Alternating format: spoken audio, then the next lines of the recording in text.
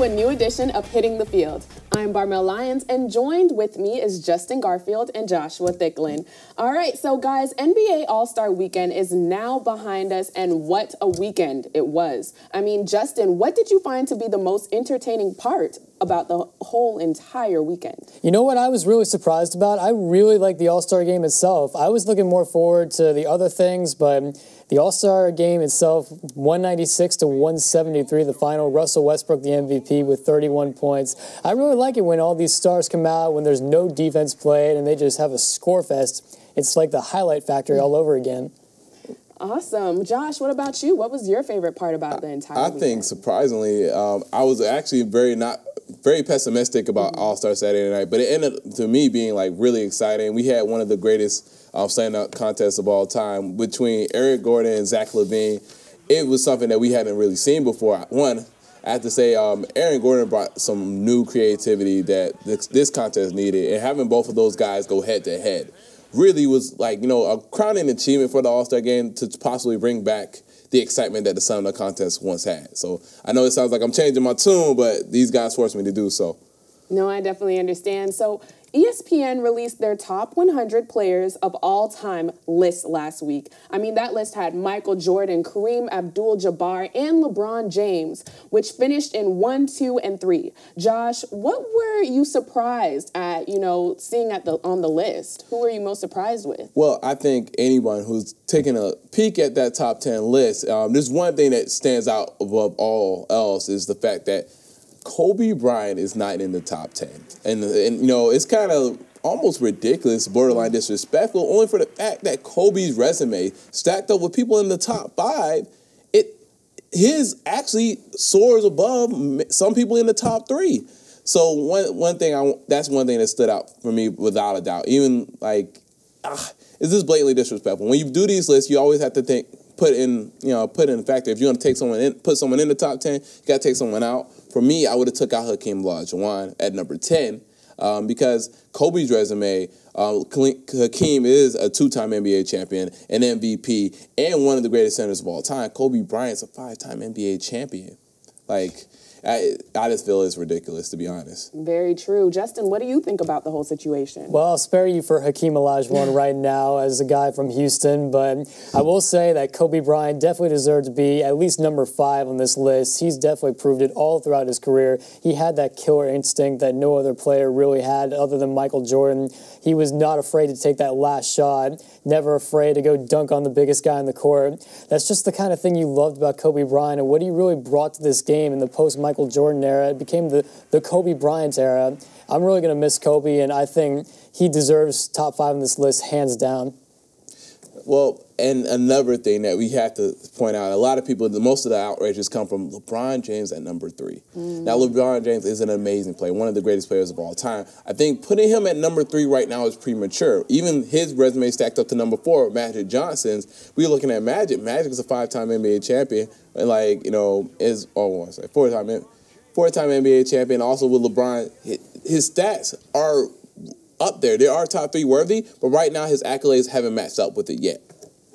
I think if this is going from a pure player standpoint, sure, LeBron deserves to be in the top five, maybe top three. You can make an argument for him, but I kind of see where you're coming from. It is a little premature. He's still only 31 years old. You got to remember, and they already ranked him ahead of Kobe, Magic Johnson, Shaq, and Larry Bird. all those guys. Hakeem Olajuwon, Larry. Bird.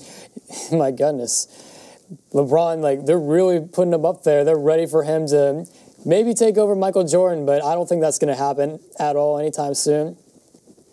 All right. Well, lastly, the NBA trade deadline is this week. Um, so, which means some of the favorite players could be moving on. Let's discuss some trade scenarios that could really shake things up around the league. Josh, which player do you think needs a trade, and where would be his best fit?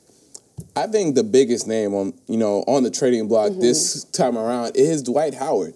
Um, Dwight Howard, just five years ago, was undoubtedly the number one center in the game. Now, five years later, um, he's 30 years old. He's in his 30s. He has a bad back, bad knees, and a two, and a bad contract, so, which is something that a lot of teams don't want to take on.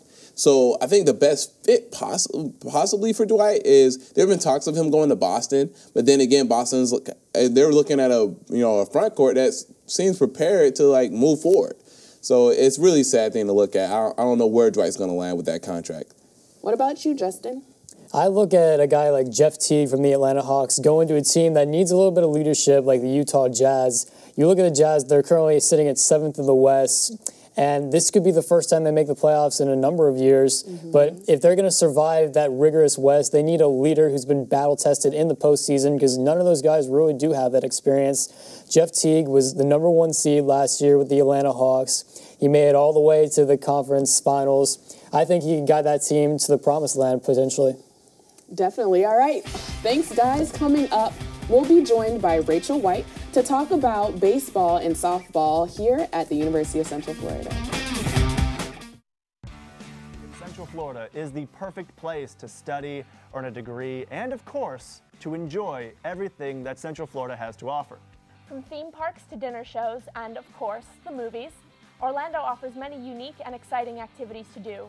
However, we all know that a ticket to any of these attractions can be expensive, especially on a college student budget. UCF Student Government Association has the nights covered with the SGA Ticket Center. Located at the heart of campus inside Student Union, SGA Ticket Center offers tickets at a special discounted price to UCF students, faculty, and staff. Not only do they have discounted tickets for theme parks, but they also have discounted tickets for other attractions like Blue Man Group, Pirates Dinner Adventure, and Kennedy Space Center. Save your money and experience all Orlando has to offer. For more information, you can visit their website.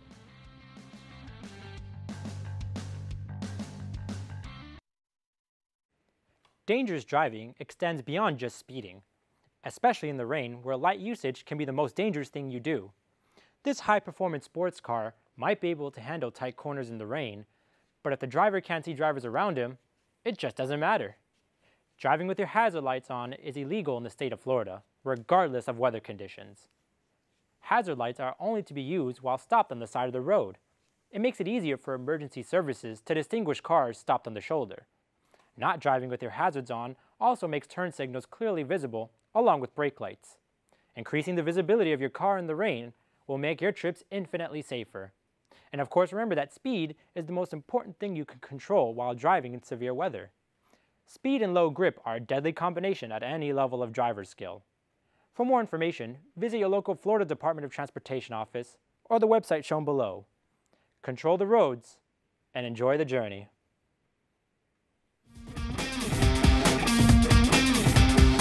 Welcome back to Hitting the Field. Rachel White now joins us. The UCF softball team started its season with a 4 and 1 record at its home tournament. Rachel, what impressed you most about the team's performance this weekend? I'd have to say the pitching. We all knew coming in about Shelby Turnier. She's one of the best pitchers in the country. Obviously, a big part of their very successful conference championship season last year. But the real question was who was going to step up and replace Mackenzie Audas. Obviously, she was the strikeout leader for the entire UCF softball history. So obviously, someone was going to have to step up. And this weekend, it was Manami Calixto. She's a new player coming in. And then also Jamie Yavari came in and relief and was very strong for the night. So I think that answered some of the questions about the pitching. And then also the top of the order was fantastic. Uh, Linnea Goodman, Brittany Solis, and Jessica Yavari very strong in those one, two, three spots this weekend, provided a lot of offense for the Knights. And Justin, what do you think? I think looking at the big picture overall, they got an eight to one blowout win over number five Alabama, first ever top ten win excuse me, top five win, even top five win in program history. So good for those ladies. We're now four and one the year, which is great. It was a big game for Courtney Roden, four for four with five RBIs. Awesome. So, what do you think the team needs to work on heading into another big week? I think just tighten up a couple things and make sure they make the necessary in-game adjustments, and they should make it through another week pretty well. All right. Yeah, and I think the 7, 8, and 9 hitters need to be a little bit more consistent for the Knights. All three of them were hitting 250 or below this weekend. You'd really like to see that the number come up and get, you know, the middle and the bottom of the order to be just as productive as the top because that offensive consistency is one of the reasons the Knights were so successful last season. So maybe make a few more adjustments and get the whole order going to really pick up the offense a little bit for this coming week. Definitely, definitely. So let's move on to UCF baseball. As a team opens up this season Friday night at the home at home against Siena. Justin, what do you think is the biggest storyline for the Knights ahead of the opener? I think the biggest storyline should be it should be a bounce back year for the UCF baseball team. Last year, we climbed all the way up to number six in the mm-hmm. rankings at the beginning of the season, and from there, it just didn't get any better. They went downhill, and things just didn't seem to go right for the rest of the season. I'm looking for a good year to bounce back and have a good team in Omaha, maybe. Hey, what about you, Rachel? There's a couple of different storylines that I'm looking at, and the first one is how are we going to replace all the players that we lost? Offensively, we're losing Dylan Moore, Eric Barber. Tommy Williams, you could just name almost our entire lineup graduated this past year. And what we did to replace them is we brought in a lot of junior college transfers like Eli Putnam. And they're supposed to, you know, be picking up the slack. And we're just going to have to see what's going to happen there. But another thing is the pitching. We had Zach Rogers last year. He had a fantastic year on the mound. And Finfrock was our number two pitcher with a 3.3 ERA. Not too bad. He's got to step into that number one role this season, so that's going to be a little different for him. And then obviously Howell needs to pick it up. He's supposed to be our number two guy, and he had a 5.6 ERA last season, which really isn't too good for a top tier starting pitcher. So we'll have to see how the pitching is going to adjust too. Definitely. But you know what? The first pitch is scheduled for 6:30 on Friday night. When we come back, we'll preview this weekend's Daytona 500. Tonight on Deals After Dark. When I think of quality sunglasses, I think of boldness, but simplicity. And nothing provides both of those more than this set. Tonight, we have a pair of beautiful used matte black Oakley Holbrook sunglasses. These glasses offer an American frame accented with metal rivets and Oakley icons, perfect for buyers seeking performance and style. And do we have a deal for you guys tonight? For the next 40 seconds, that's right, 40 seconds, you have a chance to get your hands on this exclusive featured price of $110 or best offer. This deal, usually only available on Craigslist, could be yours for the 8 super easy payments of $13.75. Wow, uh, I'm now hearing that we've actually gone down to one single pair. So if you're interested in this deal or any other products from our program, you can always log on to dealsafterdark.com or call us at 1-800-555-DEAL. See you next time. DC Comics brand new superhero collection. Oh no! Central City is under attack from Captain Cold. Luckily, the Flash is here to stop him. Captain Cold is no match for the Flash.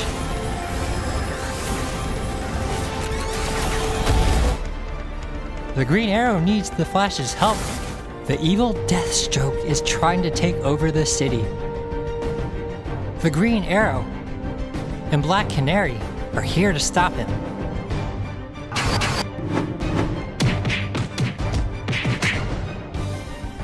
Deathstroke is too strong to beat alone. With teamwork, they can defeat Deathstroke once and for all.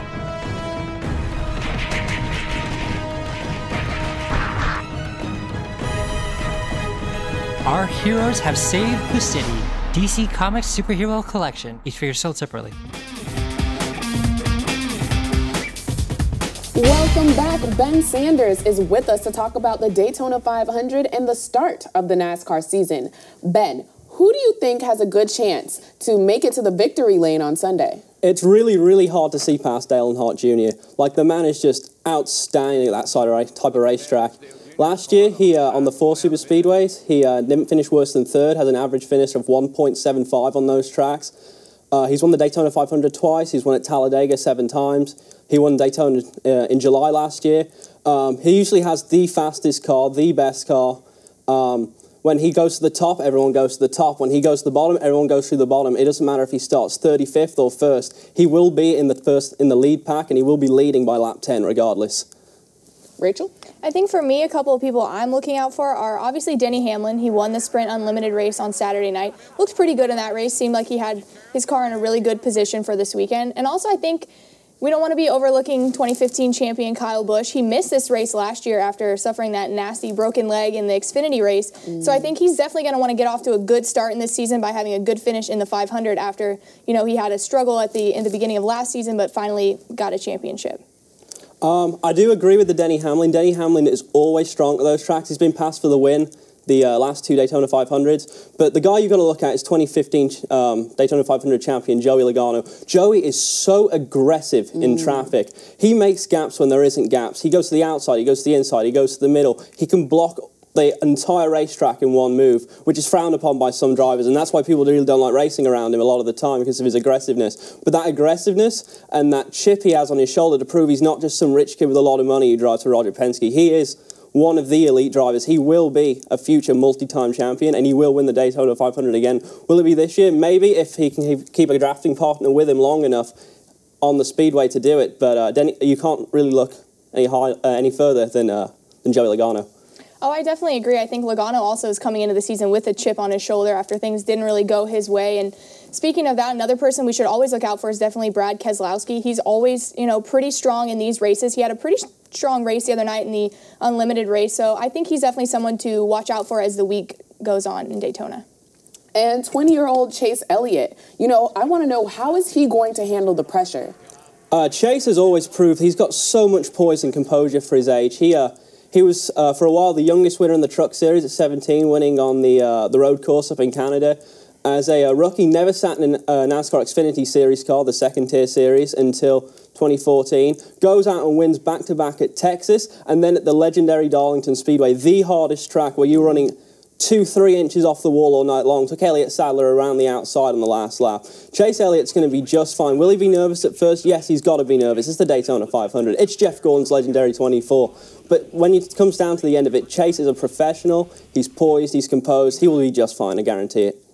Yeah, I think, you know, age is just a number for Chase Elliott. Certainly, he's not your average 20 year old. And I think he showed that poise when he, you know, qualified first. He got on the pole. Obviously, you know, he's got all of his things together. There is a lot going on for him. He's only 20 years old. He's, you know, driving the legendary 24. But I think that he's been around racing his entire life. And he continues to positively surprise everyone in NASCAR. And I don't think Sunday will be an exception for him.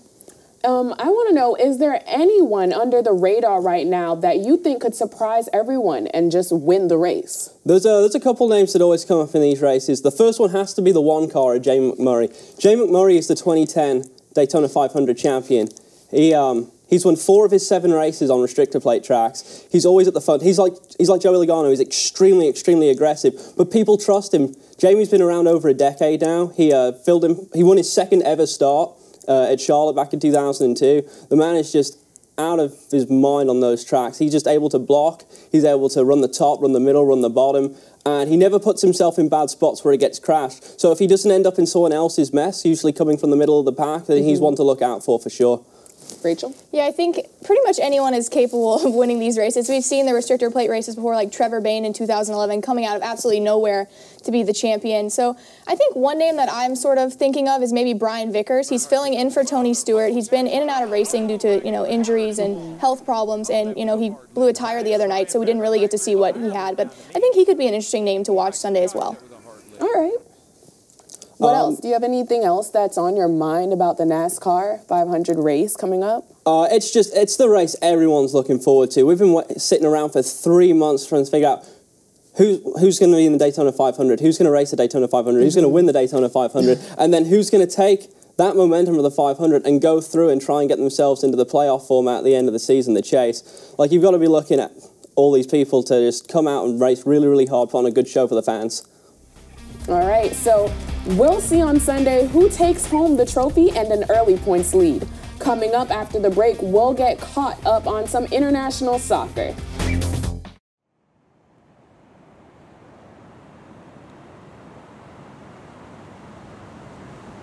experience, the sea, art, lifestyle, travel. This is Seek to See More.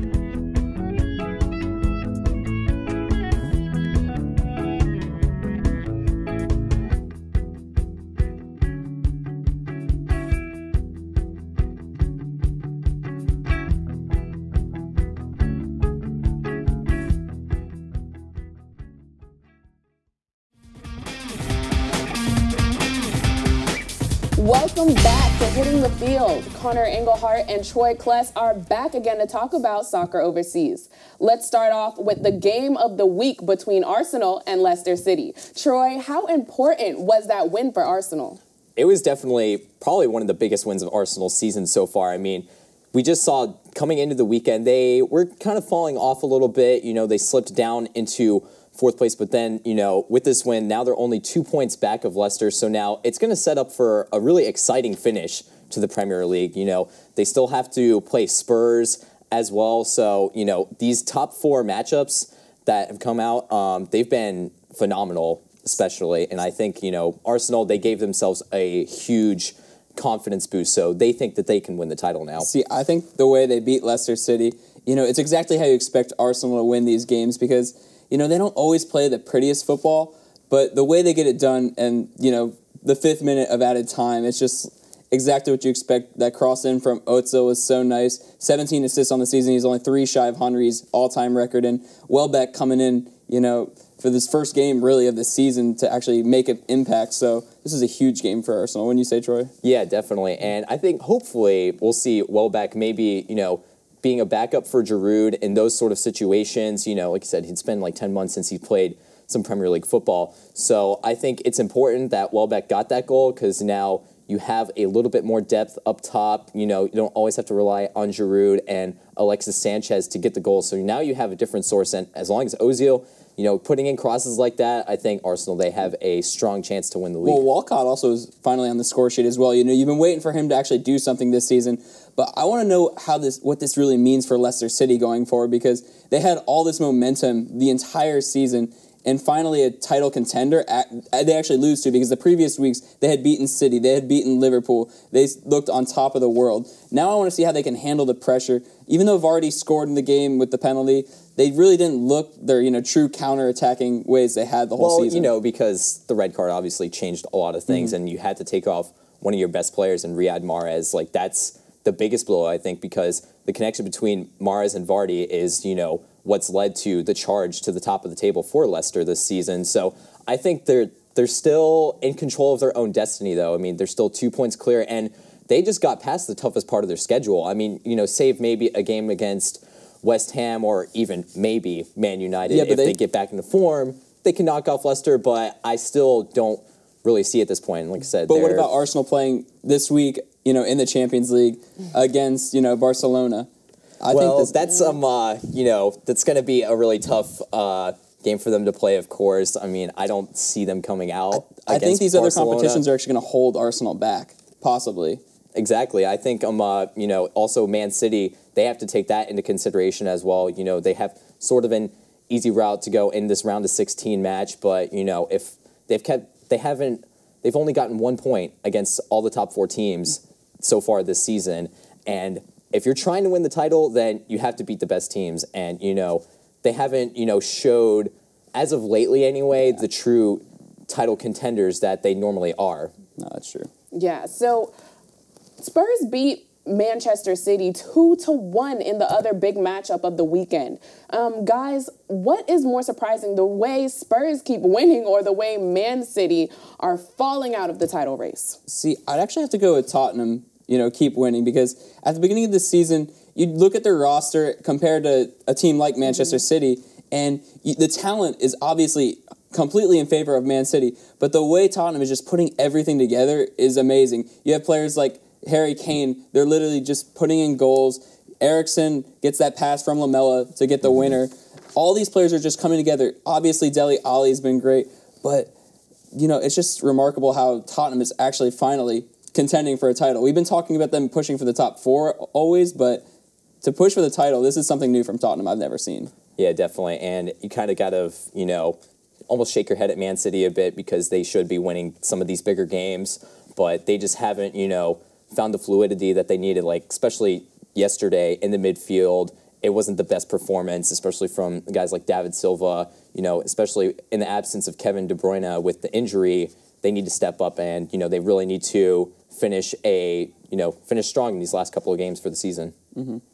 The Champions League knockout stage starts this week. I, I know it's a little early, but who do you guys see winning the Champions League this year? It's got to be Barcelona. I don't think there's anyone else out there that can compete with the attacking trio of Messi, Suarez, and Neymar. I mean, just between them, they've had like 86 goals throughout the season, and they're right now on a 30 game unbeaten streak. I don't think Arsenal is going to be slowing them down, and I don't see anyone else doing that as well. I mean, you saw last year they were able to tear apart teams like Bayern Munich and Manchester City and Juventus in the final, so I really don't see anyone else competing with this team. No, it's going to be extremely hard for any team to compete with Barcelona. Their mm. their level is definitely up there, but I do think Bayern have a shot at least. If there's any team, it's Bayern and then maybe Madrid, but both of those teams have tough competition, you know, in the knockout stage this first round. Bayern go, have to play Juventus and Madrid, I believe they got a huge game against Roma. So both those are going to be I think they'll they'll handle Roma just fine, but Bayern Munich and Juventus, I think that's probably the biggest game of this knockout stage because you know you see last year's runners up and semifinalists competing against each other. Juventus, they're on a hot streak right now. They won 18 games straight in Serie A coming into this upcoming week. So I think they have a really good shot. You know, they were able to, you know, frustrate teams like Real Madrid last last season in the semifinals. So they could definitely handle Bayern Munich. Well, you're talking about Juventus on a long streak. What about PSG? They haven't lost yet in the French league this season. Well, they actually haven't any faced any competition in the French league, so that's kind of part of the reason. I mean, there's this past weekend a nil-nil draw against Lille. I mean, that was the first time they've dropped points in the league, and also I think you know they're still not quite up there. I think Chelsea could give them some problems. I still think Ibrahimovic and Di Maria has also been on a new tear after last season, but I still think PSG, they're the team to watch out for and under the radar so far in the Champions League. My goodness. Well, that's all the time we have for today. Thanks for watching.